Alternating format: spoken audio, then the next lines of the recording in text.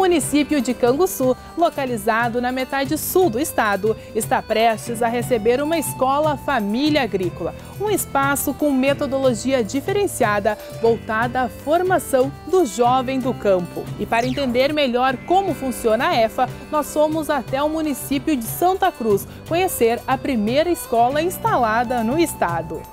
As EFAs são formadas a partir de associações locais de pais agricultores e entidades preocupadas com a saída dos jovens do campo. Surgiu na França na década de 30 e veio para o Brasil em 69. Hoje são quase 150 escolas desse tipo espalhadas em 17 estados do país. Quase porque o número redondo será atingido no ano que vem, com a instalação da quarta EFA do estado, no município de Canguçu, a EFA Sul.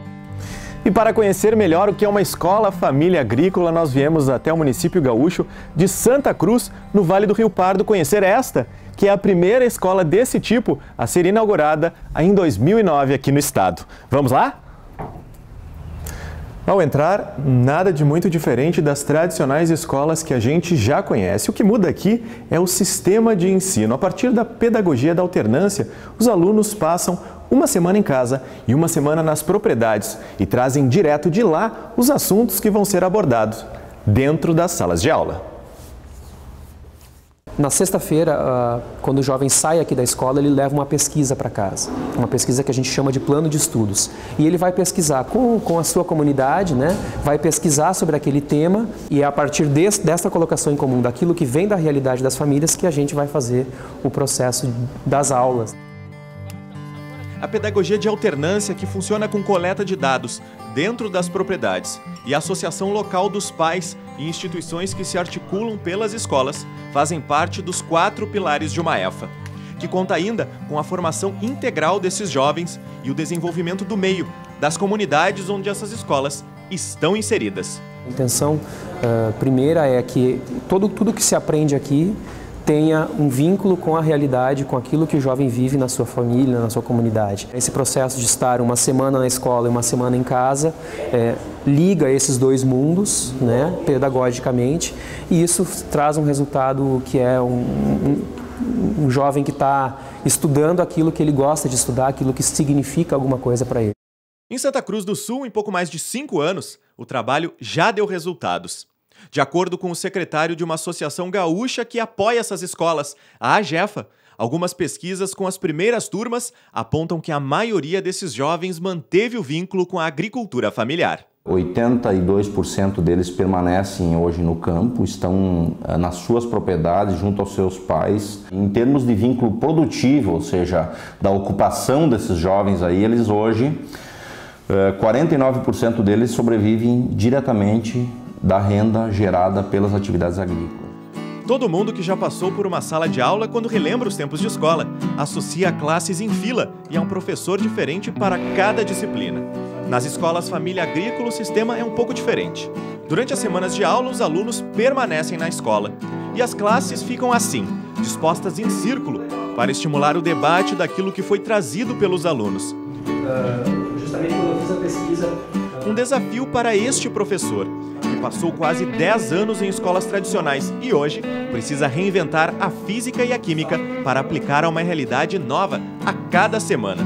Os fertilizantes sintéticos, químico, né? Você vem da formação em que você vem trazer a informação para o jovem, né? E eu tive que quebrar isso para uma construção de conhecimento, junto com o jovem, onde eu levo em consideração não o meu conhecimento, mas sim o que eu posso contribuir sim o que eu posso contribuir para esse jovem, mas com a informação que ele traz de casa. Mesmo de forma alternativa, a EFA atende às diretrizes básicas da educação nacional.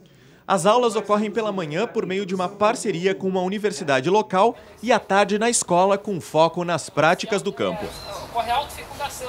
Um jeito diferente de aprender que chamou a atenção de Vinícius, aluno do primeiro ano. Na propriedade da família, o tabaco é a renda principal mas com base no que estudou, pretende ficar no campo e diversificar a produção. Para mim mudou um monte de coisa já também. Uh, eu já aprendi, tinha coisas tinha na minha propriedade que eu não sabia, não sabia o que, que era, não fazia ideia, porque eu não tinha esse conhecimento. Agora, estando aqui já meio ano, desse, desse meu primeiro ano aqui, eu já sei muita coisa, minha propriedade já mudou o sistema. Dos cerca de 100 alunos anuais, quase um terço são meninas. Natália é de Vera Cruz e, desde que entrou na escola, aprendeu a dar mais valor à produção de alimentos. Aqui na EFA a gente aprende muito a uh, mudar nossos conceitos, que não precisa sair de casa para fazer, para estudar na cidade como se a vida no campo fosse sofrida o tempo inteiro, sabe? E que o jovem, o pequeno, o jovem agricultor era burro, era ignorante e que não tinha direito de mostrar o que sabe, de mostrar sim a sua cultura do campo, entende? É justamente esse tipo de valorização que a região sul do estado está buscando incentivar nos jovens. A futura EFA deve funcionar junto a uma escola de ensino fundamental de Canguçu, município escolhido por ser referência em agricultura familiar. Guilherme, que é membro da comissão que está organizando a futura EFA, esteve em Santa Cruz com a nossa equipe e ficou impressionado com o que viu. Foi bastante esclarecedor, né, algumas dúvidas que a gente tinha né? E a gente vai sair daqui com certeza, estou saindo daqui com muito otimismo, com muita esperança que lá vai dar certo, sim. E é realmente isso que a gente quer para nossa região. Serão 30 vagas na nova escola preenchidas por processo seletivo. Uma oportunidade para os jovens continuarem sua formação sem precisar sair do campo, trocando experiências e construindo juntos novos conhecimentos para aplicar nas propriedades. Então, Antônio, que trabalho foi esse aqui que os alunos desenvolveram, que estão aqui no teu fundo? Como é que foi essa metodologia?